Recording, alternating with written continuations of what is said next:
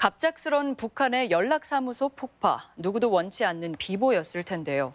특히 도내 개성공단 입주 업체에는 그야말로 날벼락과 같았습니다. 재가동이 마지막 희망이었는데 이제 그 끝마저 놓아야 하는 것은 아닌지 불안감에 사로잡혀 있습니다. 강동엽 기자입니다. 아동용 네일을 생산하는 도내 한 업체는 베트남에 생산 공장을 갖고 있습니다. 인건비와 물류비 부담에도 해외에서 공장을 운영한 것은 개성공단 재가동의 희망 때문입니다.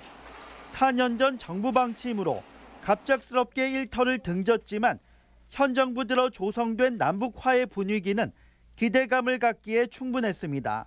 하지만 북한의 개성공단 남북연락사무소 폭파로 남북 관계가 한 치 앞도 내다볼 수 없게 되자 기대감은 걱정으로 변해버렸습니다.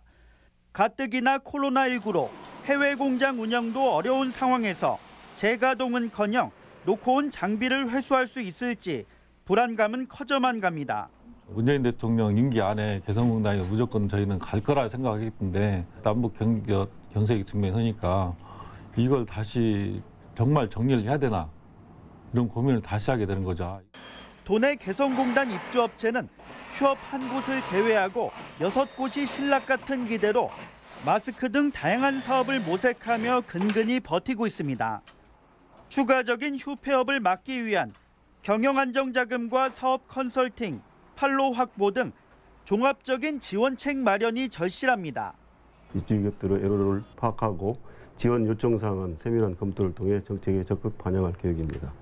남북 화해와 협력의 상징인 도내 개성공단 입주업체들은 이번 북한의 연락사무소 폭파 사태로 재가동의 마지막 기대마저 접어야 하는 것은 아닌지 초조해하고 있습니다. MBC 뉴스 강동엽입니다.